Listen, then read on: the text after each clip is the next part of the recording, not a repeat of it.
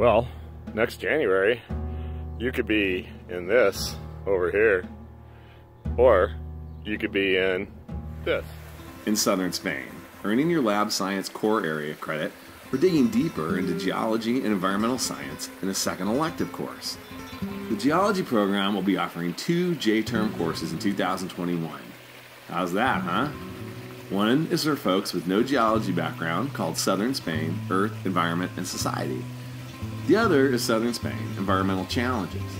These new courses will be based out of Granada, the heart of Andalusia.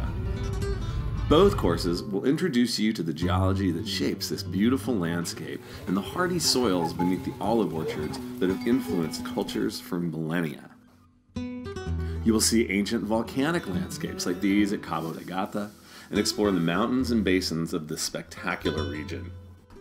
We will look at the history of mining in Andalusia from Roman through Arabic and into modern times to get a glimpse of mining's influence on society in this region.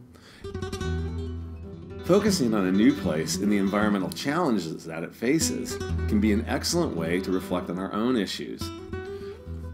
We will travel to the Mediterranean coast to see the surprising Mar de Plastico of the European Union a giant hydroponic farming area that raises important questions about water availability and supply and the decisions we face in devising a sustainable food supply. We also plan on investigating Spain and the European Union's efforts to develop renewable energy resources through wind and solar. Finally, we cannot fail to overlook the important influence of Islamic culture in the region.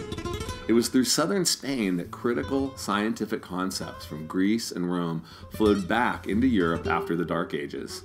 That flow of knowledge was sourced by Islamic scientists and philosophers and influenced the fields of mapmaking, mathematics, medicine, architecture, and others. We'll spend some time learning about this influence as well and visit the spectacular Alhambra, the seat of Arab power in the later stages of Islamic rule. If you're taking this opportunity to fulfill your lab science core requirement, you'll spend the first week on campus learning fundamental concepts of geology.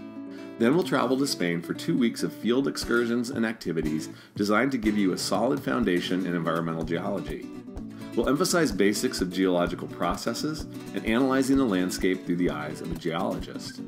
If you have already completed an introductory geology course, you can take Geology 298, Southern Spain Environmental Challenges.